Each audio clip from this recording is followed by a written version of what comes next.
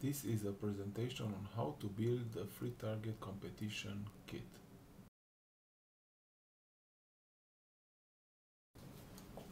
This is a box how the kit comes pre-assembled. It has a very small content uh, paper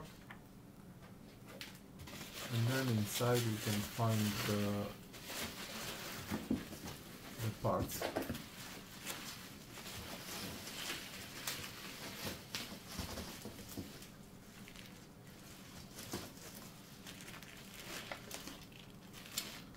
These are the target frame and target holder.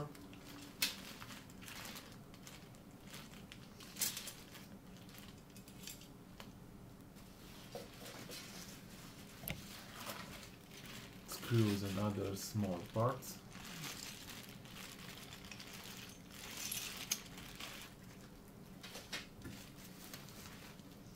The paper motor already assembled with did guide rollers.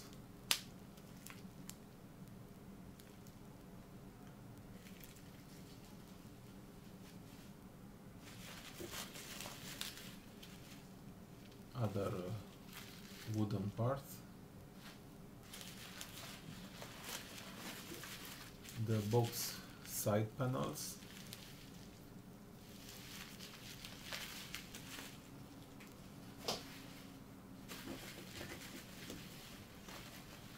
This is the back plate with the mounting points already put in.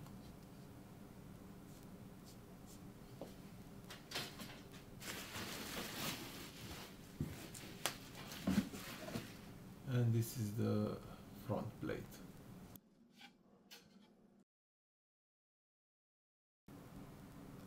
To put the paper holder there are just two small wooden uh, parts that you have to glue.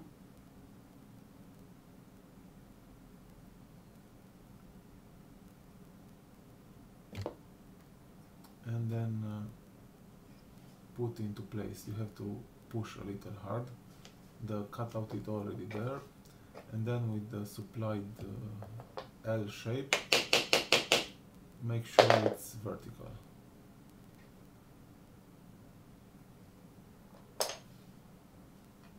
Same job on the other part. Put glue, not too much.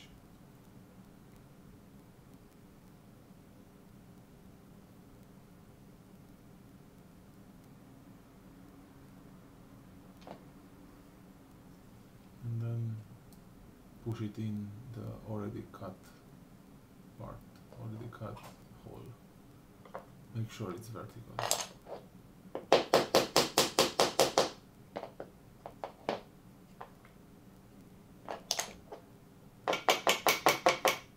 Make sure it's all the way.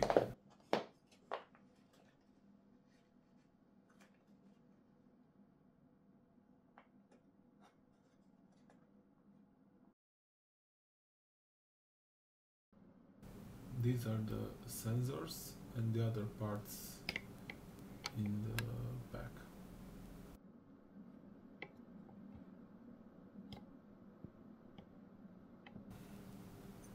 You have to put two screws in the provided holes and then put the screws in the pillars already mounted on the back plate.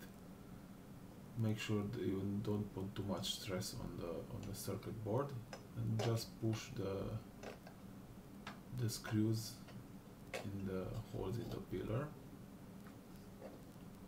And then uh, put the nut on the back and tighten it but not too much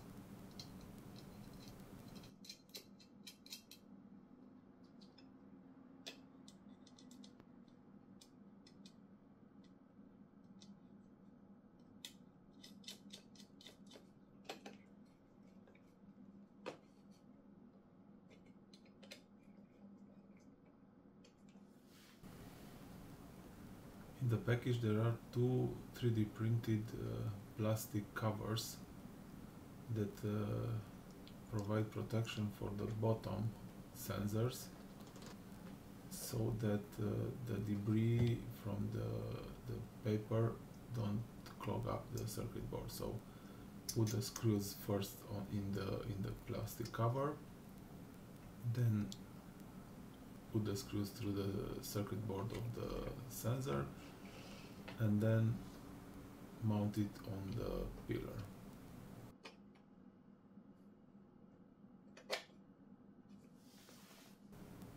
this is how it should look with all four sensors mounted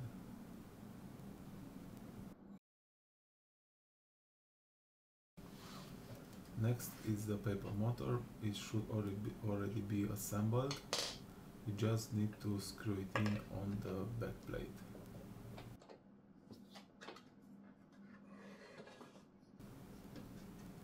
Just make sure that uh, you align the holes in the back plate, put the screw in, and then just uh, tighten it so it, it fastens in the holes already put in the paper motor base.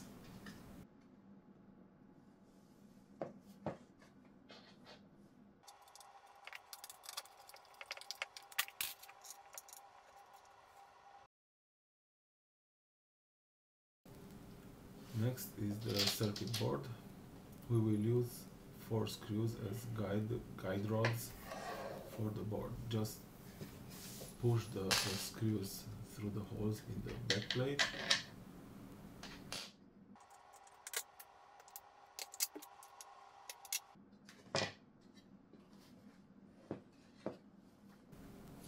And then put uh, a nut on each one as spacer and uh, holder for the, the screw in place.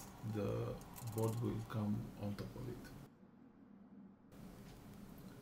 Now the circuit board will slide on the four screws.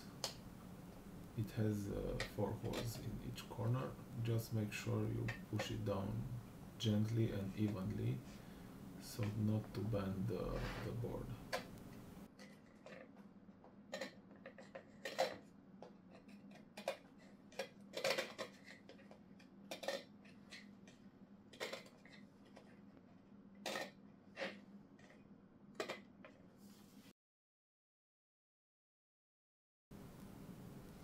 Next are two cable guides that uh, are mounted on the on the sides of the central hole. Just glue them in. These will keep the cables in one place.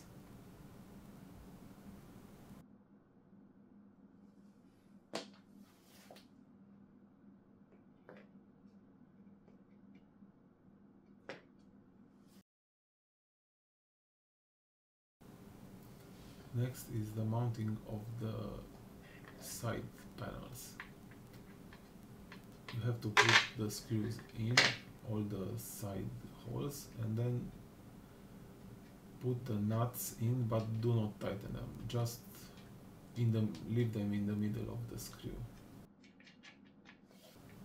Repeat this for all these holes in the back plate and also on the side panels this is how it should look at the end.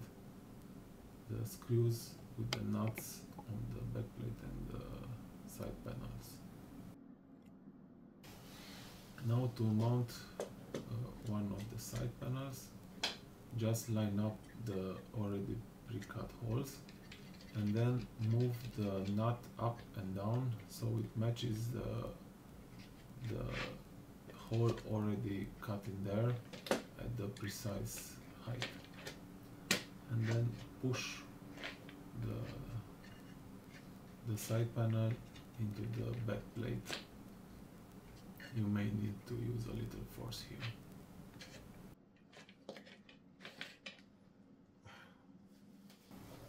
Once the side panel is slid into place tighten the screws so that the side panel is secured.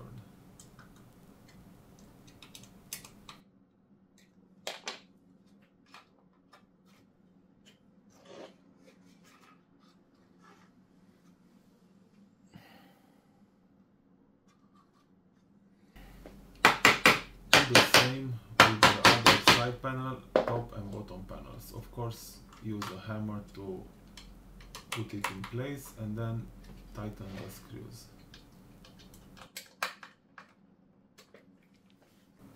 This is how it should look with all the side panels in place.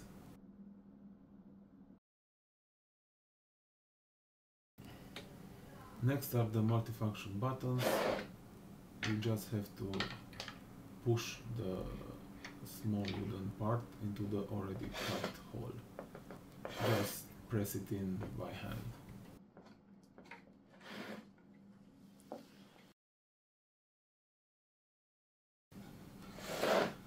Next is the cabling. First just uh, pass the, the motor power cable through the guide the cable guide and the buttons cable through the cable guide and connect it to the board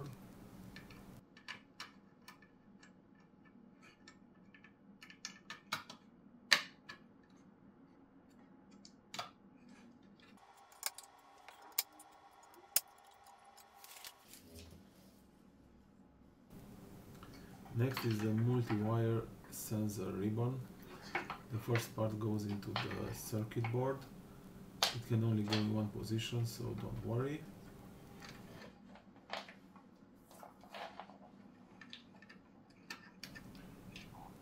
Then it's the north sensor, the first uh, connector on the ribbon. Then you have to pass the whole ribbon through the square cable guide.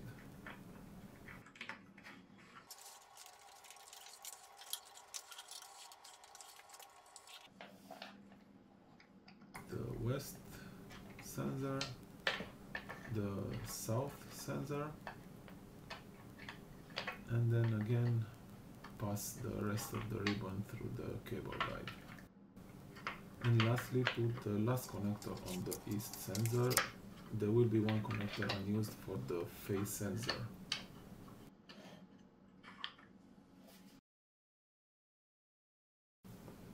Next is the target face. It's the part where the the paper mask and the witness paper will roll on. First, on the metal face, we have to mount the black paper roll guide.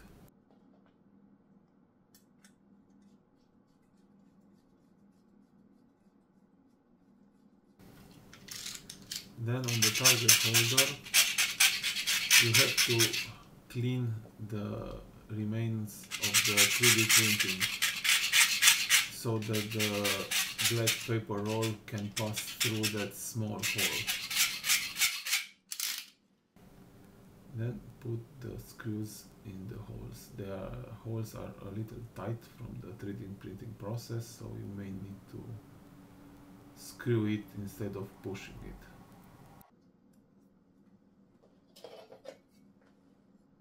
And then we need to fix the holder to the target face.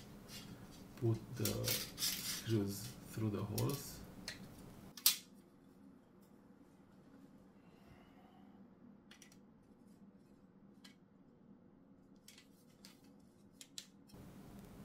again you need to screw it in even though there is no thread just so that the, the screw passes through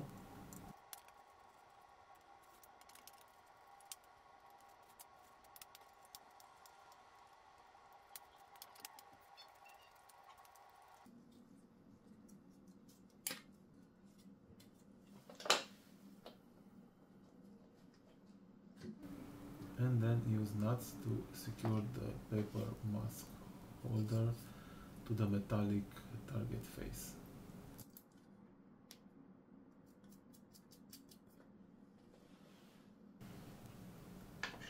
Then you need to pull the big four screws out of the pillars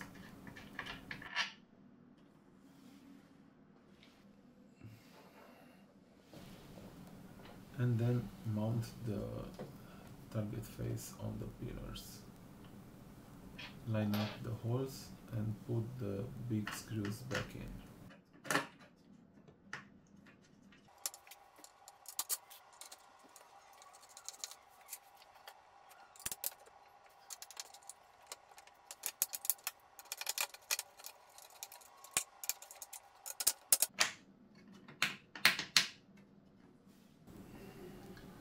Cover the two screws with the small plastic stubs.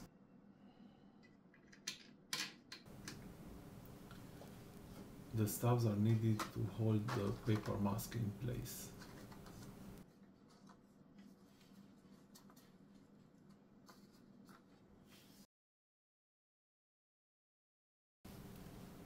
Next is the LED strip holder. There are four bars, four wooden bars that need to be glued in on the front uh, plate. These will hold the LED strip.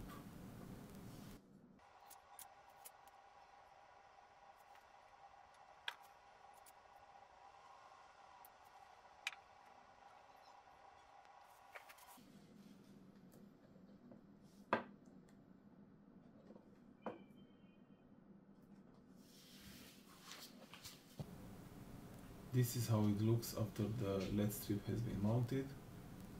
The strip should have some uh, glue on the back. Just cut it to length and let it uh, stick to the sides of the holders. And of course you need uh, some wire from the LED strip to the circuit board. Cut the wire to the appropriate length and insert it into these two holes securing it with the screws. Also you need to provide your own power supply that need to be screwed in into the same place in the circuit board